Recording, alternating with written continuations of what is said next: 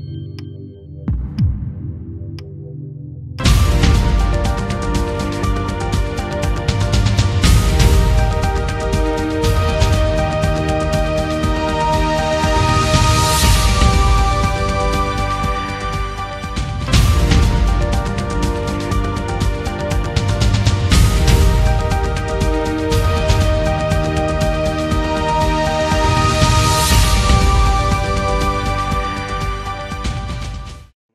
တစ်ပတ်ရဲ့ငင်းချင်းရေးအတွက် Federal အစီအစဉ်ကနေဥပဒေပညာရှင်ဆရာကြီးဦးအောင်ထူးနဲ့ဆက်သွယ်မေးမြန်းချက်ကိုတင်ဆက်ပေးသွားမှာပါအပိုင်းနှစ်ပိုင်းခွဲပြီးတော့ကျမတို့တင်ဆက်ပေးမှာဖြစ်ပါတယ်ပထမပိုင်းမှာတော့ Federal Democracy ဆိုတာဘာကိုဆိုလိုတာလဲ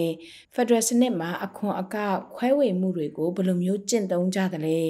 Federal စနစ်နဲ့ Democracy စနစ်ကတစ်ခုနဲ့တစ်ခုဆက်ဆက်မှုမရှိဘဲခွဲပြီးသွားရင်ဘာတွေဖြစ်လာနိုင်သလဲစတာတွေကိုပထမပိုင်းမှာနားဆင်ရဖို့ရှိပါတယ်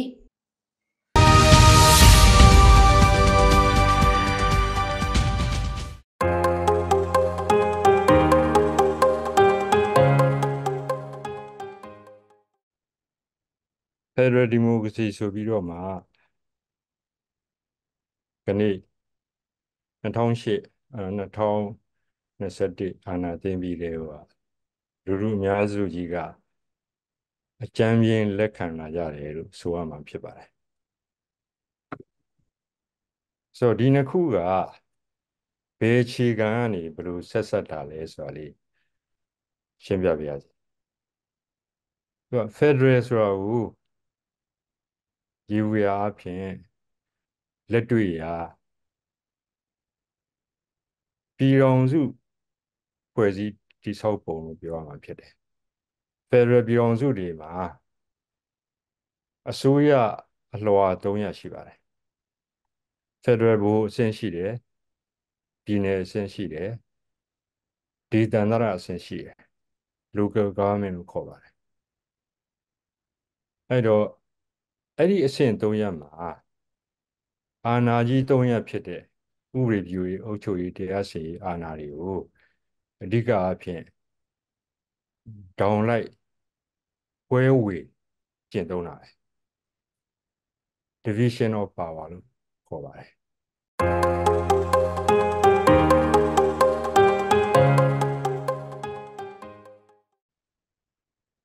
အဲ့တော့တရကအဖြစ်ပြောမယ်ဆိုရင်ဒီ Federal က မျှဝေတဲ့အပေါ်မှာအခြေခံတာကြောင့်တိုင်းပြည်အနေနဲ့ဖက်ဒရယ်နိုင်ငံအနေနဲ့ရတဲ့အခွန်အကောက်တွေဘယ်လိုခွဲမလဲဆိုဖွဲ့စည်းပုံအခြေခံဥပဒေနဲ့ညီဖက်ဒရယ်ကအချိုးတချို့ပြည်နယ်အဆင့်ကအချိုးတချို့ local လို့ခေါ်တဲ့ဒေသန္တရအစိုးရအဆင့်ကအချိုးတချို့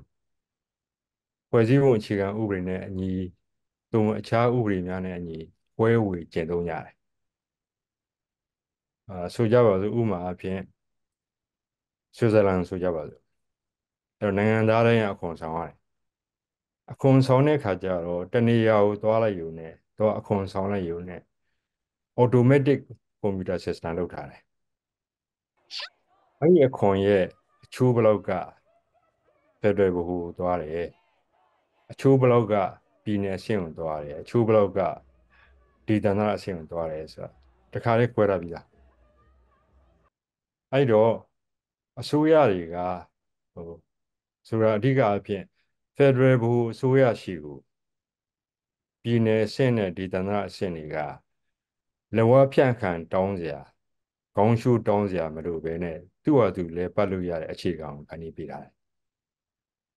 ဆိုတော့ဒီသဘောတရားအခြေခံကတော့ Federal သဘောတရားအခြေခံပဲသိစိတ်ကတော့အများကြီးပေါ့လေ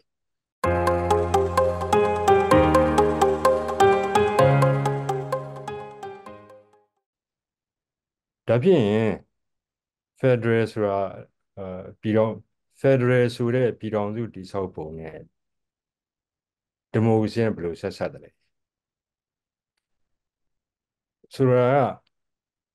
Federal ဖြစ်စီဒီမိုကရေစီဖြစ်စီ ဥပဒေစိုးမိုးရေးမရှိမရနဲ့ဒီမိုကရေစီဆိုတဲ့အရာတန်ဖိုးကိုဥပဒေစိုးမိုးရေးမရှိပဲကျင့်သုံးရင်အာဏာရှင်ဖြစ်သွားပါတယ်ဒါနိုင်ငံသမိုင်းအတွေ့အကြုံတွေအများကြီးอืมအဲ့တော့ Federal အဆင့်တစ်ခုတည်းတွားရုံနဲ့မရဘူး။ဒီနေ့ဆိုရင်စိတ်မကောင်းစရာပဲ။ဒီမိုကရေစီဆိုတဲ့အတန်ကတော်တော်လေးကိုငြိမ်သွားပြီးတော့ Federal အတန်ကဟိမ့်တက်လာ။ Federal အတန်ဟိမ့်တက်လာတာကိုဆရာတို့များစွာဝမ်းမြောက်တယ်ကြိုဆိုတယ်။သို့တော့ဒီမိုကရေစီဘက်ကနှိမ်ပါသွားရင်ဘာကြောက်ရလဲဆိုတော့အစိုးရအဆင့်30လုံးမှာအာဏာရှင်တွေပေါ်လာတယ်နောက်ထပ်စစ်အာဏာရှင်တွေပေါ်လာဒါကြောင့်အစိုးရအဆင့်30လုံးမှာ democratic practice ပေါ့ဒီမိုကရေစီထုံးတမ်းစင်လာတွေကို ကျင့်သုံးရတော့မှာဖြစ်တယ်ဥပမာအားဖြင့် federal အဆင့်မှာဖြစ်စေပြည်နယ်အဆင့်မှာဖြစ်စေဒေသန္တရအဆင့်မှာဖြစ်စေအုပ်ချုပ်မှုကိုလည်းပတ်တဲ့အခါကျတော့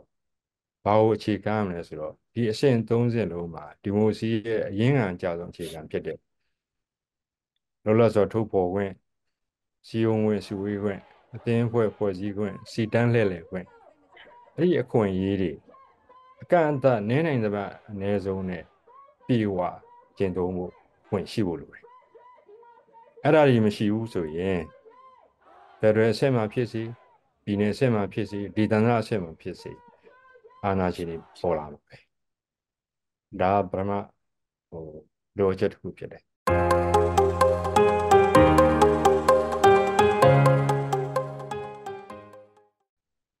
ဒုတိယလိုအပ်ချက်တစ်ခုက ဒီမိုစီကိုဒီမိုကရေစီဆိုတဲ့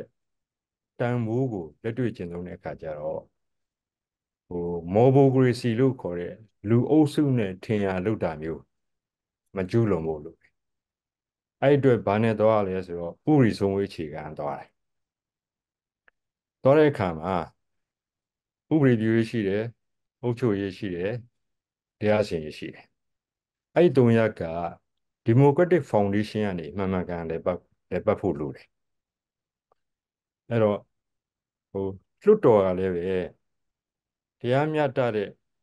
ဥပဒေတွေဒီမိုစီအခြေခံကိုကျင့်သုံးတဲ့ဥပဒေပြဋ္ဌာန်းဖို့လိုသလိုအဲ့လွတ်တော်ကပြဋ္ဌာန်းလိုက်တဲ့ပြဋ္ဌာန်းချက်တွေဟာဟိုဖွဲ့စည်းပုံအခြေခံဥပဒေနဲ့ဆန့်ကျင်ဆန့်ကျင်နေပြီဆိုရင်တရားလွတ်တော် တရားလွတ်တော်သို့မဟုတ်တရားရုံးချုပ်ကိုပယ်ဖျက်ခွင့်ပေးပေးဖို့လိုတယ်ဆိုတော့ဒီလိုလေ့ကျင့်မျိုးကကျွန်တော်နိုင်ငံတမိုင်းမှာတစ်ခါမှမရှိခဲ့ဘူး။နောက်တစ်ချိန်ထဲမှာဒီအုပ်ချုပ်တဲ့အစိုးရဟာဥပဒေနဲ့ညီမအုပ်ချုပ်ဘူးဆိုရင်လွတ်လပ်တဲ့အဲ့တရားရုံးချုပ်ကဖွဲ့စည်းပုံအခြေခံဥပဒေနဲ့သက်ဆိုင်ဥပဒေကိုကင်ပြီးတော့အစိုးရရဲ့အာဏာကိုဟို ထောက်ပြကန့်ကွက်နောက်ဆုံးမှာအဲ့အစိုးရရဲ့အဲအုပ်ချုပ်မှုကိုအားနည်းချက်တွေကိုထောက်ပြလူအရင်အရေးယူတဲ့အဆင့်မျိုးနဲ့လွတ်လပ်တဲ့တရားစီရင်ကဏ္ဍကိုဟိုတစ်ချိန်ထဲမှာတိစောက်ထားဖို့လိုပါတယ်အဲ့တော့လွတ်လပ်တဲ့တရားစီရင်ရေးက judicial review လို့ခေါ်တဲ့တရားရေးပိုင်းပိုင်းဆိုင်ရာအရာတရားရေးပိုင်းဆိုင်ရာအရာကြီးကြပ်စစ်ဆေးရေးဥပိုင်းကိုပေးပေးဖို့လိုတယ် ဒါက democratic practice ဖြစ်တယ်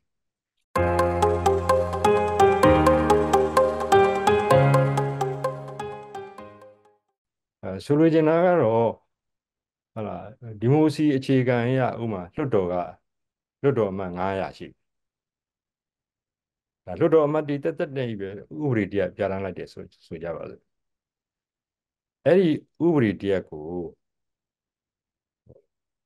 15ရောက်အများဆုံး15ရောက်ညလောက်နေတာဖွဲ့စည်းထားတဲ့ဟိုပညာရှင်တရားသူကြီးတရားလွတ်တော်တရားရုံးချုပ်ကနေပြီးတော့ဖွဲ့စည်းပုံအခြေခံဥပဒေကိုကင်ပြီးတော့ခင်ဗျားတို့လွှတ်တော်ကပြဋ္ဌာန်းလိုက်တဲ့ဥပဒေဟာဖွဲ့စည်းပုံအခြေခံဥပဒေနဲ့ဆန့်ကျင်တယ်ဆိုပြီးတော့ပယ်ဖျက်လိုက်ရင်ပယ်ဖျက်ခွင့်ရှိရအဲ့ဒါကမော်ဘိုကရေစီဖြစ်မသွားအောင်ဥပဒေစိုးမိုးရေးအခြေခံထိန်းထားတာ 900လွှတ်တော်အမတ်တွေပြဋ္ဌာန်းတဲ့ဟာကို15ရောက်လောက်ပဲရှိတဲ့တရားလွှတ်တော်ချုပ်ကဖျက်ပလိုက်တယ်နော်အဲ့တော့ဒီမိုစီကိုရိုးရိုးစဉ်းစားလို့မရတော့ဥပဒေစိုးမိုးရေးအခြေခံကစဉ်းစားတာဖြစ်တယ်အဲ့တော့ဟိုဒီမိုစီကလည်းဥပဒေစိုးမိုးရေးအခြေခံကကျင့်သုံးမှလာလေတကယ်တမ်းအာမခံချက်ရှိနိုင်တဲ့ဟိုအကျိုးရှိနိုင်တဲ့အာဏာရှင်တွေပေါ်မလာအောင်ကာကွယ်နိုင်တယ်ဒီလိုအခြေခံမျိုးကနေ Federal Democracy ဆိုတာကိုနားလည်ဖို့ဖြစ်ပါတယ်